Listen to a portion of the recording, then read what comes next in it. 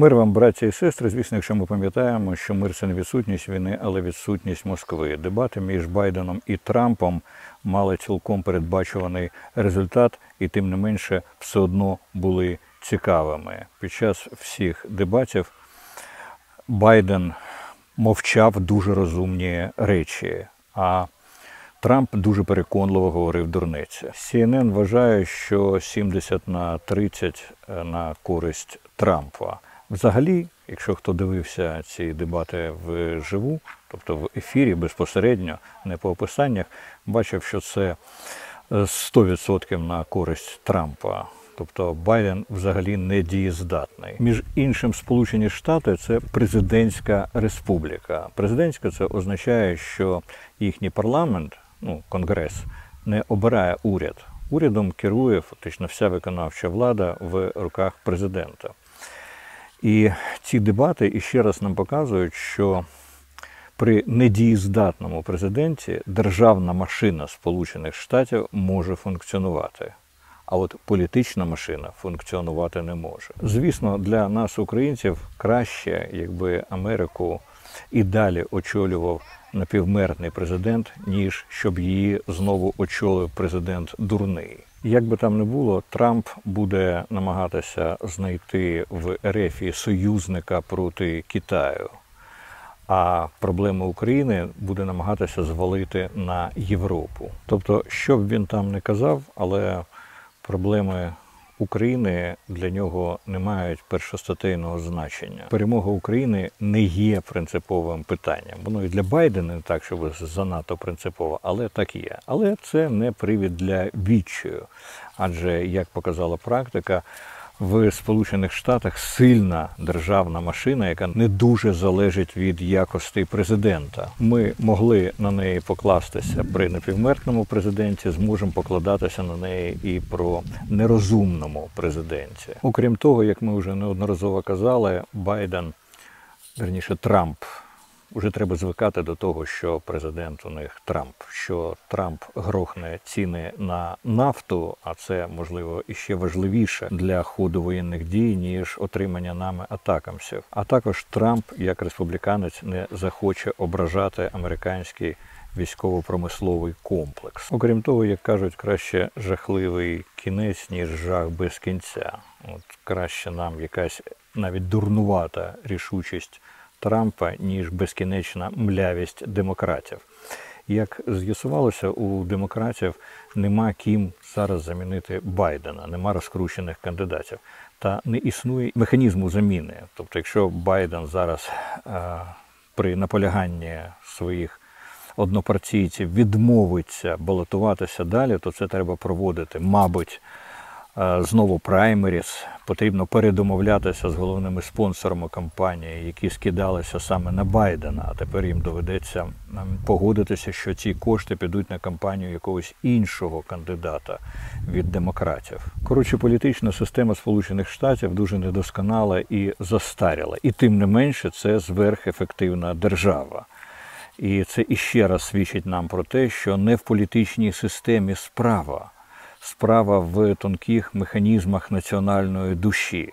Багато країн при більш досконалій політичній системі є другорядними і третьорядними країнами. А Сполучена Штата при абсолютно відстійній, архаїчній, неправильній системі виборів є е, країною номер один в світі. Тонкі механізми національної душі, от чим ми маємо займатися в Україні між боями. І це означає, що, наприклад, народні пісні є не менш важливою справою, ніж судова реформа. А в цілому культура це двигун всього. Це двигун війни, це двигун промисловості, це двигун економіки. В цілому культура це те, що забезпечує виживання і перемогу. Між іншим, ми всі з вами пропустили дуже цікаві дебати між прем'єр-міністром Великої Британії Сунаком і його опонентом очільником лейбористської партії, імені якого я ще не дав собі працю запам'ятати, тому що він іще не переміг. Сунок, між іншим, дорікав цьому лейбористу на цих дебатах в тому, що лейбористи взагалі не мають визначеної відповідальної позиції щодо міграції. Тобто Сунок вказував на небезпеку безконтрольної міграції і казав, що з цією міграцією ліберісти не впораються. Це цікаво. Сунок, індопакистанець,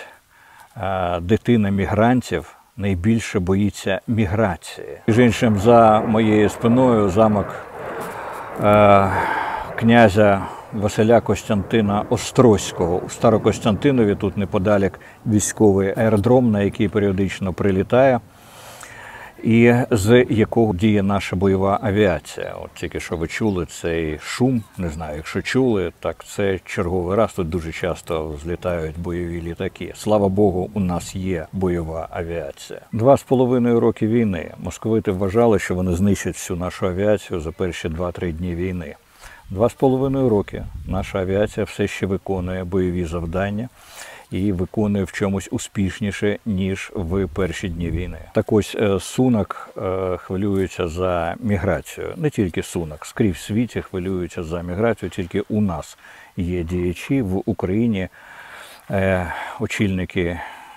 Інституту демографії і урядовці, і всяка наволоч, які вважають, що українців на наших землях треба замінити азіатами, і чим швидше це зробити, тим краще буде.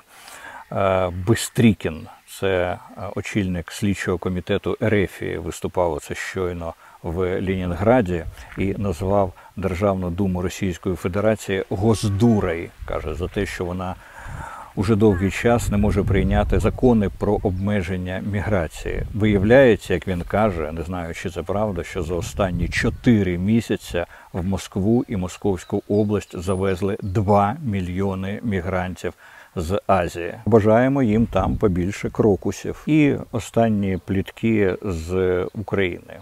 Як ви знаєте, знятий арешт е, з акції е, Фірташа. Тобто Фірташ у нас володіє багатьма облгазами, у нього є акції. Ці акції були заарештовані довгий час.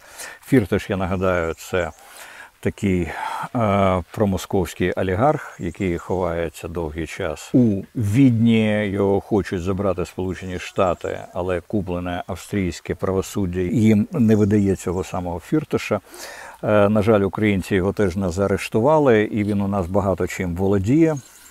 Цей самий фірташ, в тому числі і телеканалом Інтер, десь половина інтеру у нього. Йому зараз дали можливість торгувати цими акціями своїх облгазів, знову обілічувати українців. Е, кажуть, що причина та, що він все-таки віддав телеканал Інтер команді Зеленського. Це добре, що тепер йому не належить Інтер, тому що Інтер це найбільш злісний ватний канал, був і являється, і він дуже багато зробив шкоди Україні. Свого часу братство воювало проти Інтера. Нас звинувачували навіть в тому, що ми підпалили апаратну інтеру, припинили віщання на цілу добу. І звісно, що цей телеканал мав би бути знищений, але він не знищений. Зараз ним буде розпоряджатися Зеленський. Це добре, погано це те, що а навіщо було розплачуватися з Фірташем? Навіщо було з Фірташем розплачуватися навіть його акціями? Треба було забрати і акції, і інтер. Він ворог. Він ворог і він злодій. Е, до цього у нас е, позавчора здається, чи три дні тому дали можливість працювати з його акціями і з арештованим раніше майном Новінському. Новінський це ще більший ворог, ніж Фірташ. І е, вся деструктивна діяльність УПЦ ФСБ здійснюється на гроші Новінського. Новінський теж переховується переважно в Австрії, замість того, щоб дати команду головному управлінню розвідки виловити цього самого Новінського і притягнути його до відповідальності, замість того, щоб забрати у нього все. Е, так само йому дали можливість працювати в газовидобутку, зараз повернутися верніше до цієї праці. Тобто, наше державне керівництво продовжує торгуватися з нашими внутрішніми ворогами, замість того, щоб їх просто прихлопнути. Я не можу зрозуміти цього. Я їх мало би вести, навіть якщо і не патріотизм, наше державне керівництво, то принаймні жадібність. Навіщо з кимось ділитися? Навіщо ділитися з новінськими і фірташами?